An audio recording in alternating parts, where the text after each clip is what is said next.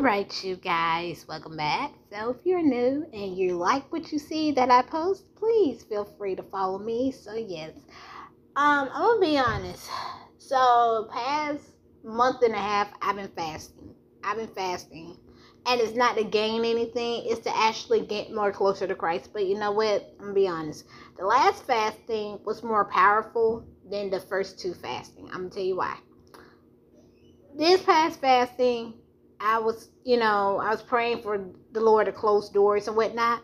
And you're probably wondering why you see my book on here and not the Bible. I'm gonna tell you why. This is actually a message to the fellow authors and whatnot. So, long story short, we were praying against the spirit of Jezebel and whatnot because here was the thing.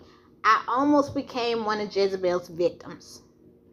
And I, in other words, I almost turned into a Jezebel, what I'm trying to say. So, Kind of find out, one of my fellow authors whom I admired so much, this year she blocked me because I told her the truth. I rebuked her because not one time am I gonna say uh, what not one time am I gonna hold something back that I really believe needs to be said. I'm gonna tell it to you to your face. I'm not gonna say it to you to a post. I'm just gonna say it. I'm just gonna be honest and say it to you to your face. Mind you that I have not met this person in person. So she blocked me. And not too long ago, yesterday, I started on a book, and this book is technically about her. And apparently, the author that wrote this book was dealing with this Jezebel at a much, much, much harsher treatment than I did. This person wanted to suck the life out of her. And I was like, you know what? I said, I low key almost became a Jezebel because of whom I had in my, you know, whom I had in my author circle. Because I, it was to the fact, like I said, I admired this person, I looked up to this person, everything. But the fact of the matter is, I was borderline about to act like a Jezebel. And it almost could have affected my marriage as well. Yes, I'm a wife, but I'm gonna keep it real, and I mean this when I say this. I'm gonna keep it real. Authors, you need to be mindful in this industry whom you associate with. Just because someone writes books, that does not mean that their spirit. That does not mean they are filled and led with the Holy Spirit. I'm gonna keep it real on the one, twos, and threes. Because guess what? It was to the point I couldn't even write. My writing was under attack. Like I was really under this spiritual attack. It was to the point I couldn't write. I'm like something, baby. Down, down. Thank you, thank you, husband. Anyway, like I was saying, I was under spiritual attack. It was to the point I couldn't even write. I'm like, Lord, something ain't right. Like, why can't I write? Not only did he expose one Jezebel, this person don't even write that he exposed, that I was also listening to and whatnot. The Lord used one of my other fellow authors to write about her experience with this Jezebel. I said, dang. I said, I was really tolerating Jezebel. And I don't want to tolerate Jezebel this year out. No, or forevermore. No more Jezebel. This is why authors, you need to have discernment and you need to have eyes to really spiritually see. Just because someone has so many books out, just because someone's topping the charts, and they got millions and millions of pages read, that doesn't mean that their spirit man is on um, good terms with the Lord. Okay, that doesn't mean they're really following Christ. Because guess what? Satan blesses people too. I'm saying again, Satan blesses people too. So technically, Satan was using this person, having this person under influence to really. It, it was ugly. Let me put it like this. It was ugly. It was to the point I couldn't write. I said, God, something ain't right. I said, I can't even write. And here I am thinking it was procrastination. I wouldn't say procrastination. You know, it was slothfulness. And I'm like, something just ain't right. Now it made sense. It made sense as to why I couldn't write.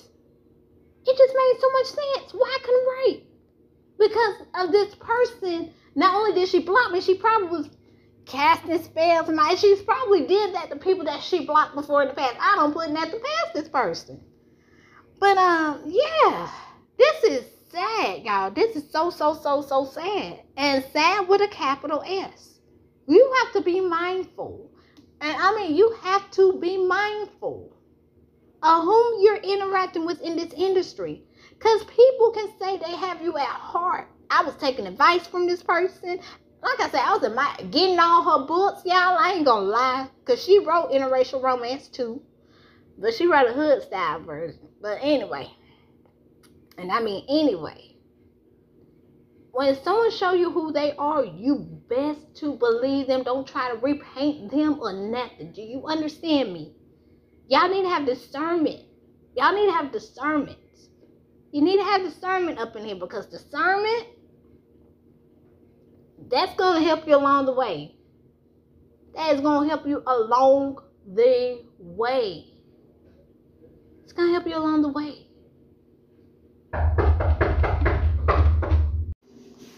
So um, I had to change. Y'all, I'm still packing. The movies had come in. I'm still packing. This is not what this book is titled. Okay, I, I just want you all to know that this is not what book 16 is titled. Okay, don't ask me what book 16 is titled, but I'm going to get to my point, and I need y'all to understand what's going on. Okay, this is what's going on. You need to be. If you call yourself a Christian and you're an author in this um, industry, you need to have discernment and eyes that see. You need to have those two things and plus, you also need to be well rooted and deeply rooted in Christ. Why? It is essential. It's essential. It is essential. And I mean, it's very essential. It's very essential that you have those things. Because someone can say they had the best interest in you, and that whole time they're praying on your downfall. They want to suck the life out of you. They will stop you. They will try to hinder you from reaching what God has called you to be. So you need to be mindful that there are Jezebels in the author industry. And you know what? Last night after, I mean, I'm not even done reading the book. I still want to read the book, y'all. I'm like on chapter three of this book. Excuse, mister. But anyway, it is what it is because you know what? I'm glad that my writing came back I'm on where I need to be on because guess what? I was like, dang, what is going on? Normally I'll take a break in here and there so I could start on another book. But it was like I wasn't even moving fast enough. I did not even complete both Camp NaNoWriMo. That's how bad it was, y'all. That's how bad it was. I'm not gonna lie, that's how bad it was. I, I was I couldn't even write.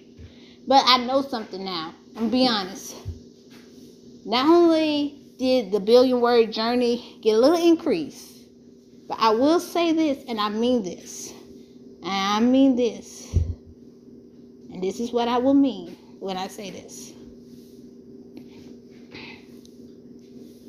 I just know now not to tell people I'm an author when they see me. Only a few people will know. The ones that got in, mean, the, I, I still have to have discernment, but not everybody and their grandma needs to know. Because you know what? Not everybody in their grandma needs to know. And it's real. It's real because there are people out here, even in the industry, that just want to suck the life out of you. They don't want to see you do better than. That's the thing about a Jezebel. Jezebel does not want to see you do better than them. They want to see you still where you are. They want to see you still do. They want to see you do good, but not better than them. Heck, I told my sister when she started high school, I said, I want you to do better than me. And she did. Did I get upset? Did I get jealous? No. I was still bragging on her. Until this day, I'm still proud of my sister for doing better than me when I was in high school. I was depressed my junior year. Glad I graduated, but here's the thing. My sister's GPA was higher than mine. Did I get angry? Did I get bitter? No, I didn't. I didn't. Matter of fact, my brother did better than me when he graduated. GPA wise. I was still happy. Still happy. I'm like, y'all both did better than me. And I raised y'all. I raised them at one point. Don't ask. I ain't gonna get personal, but I did. But authors, be mindful who you interact with in this industry. Be uh, be mindful. Have eyes to see, ears to hear. But make sure you have a deeply rooted relationship with Christ. So I love you guys. May God continue to keep you all. May He bless you all. Be blessed.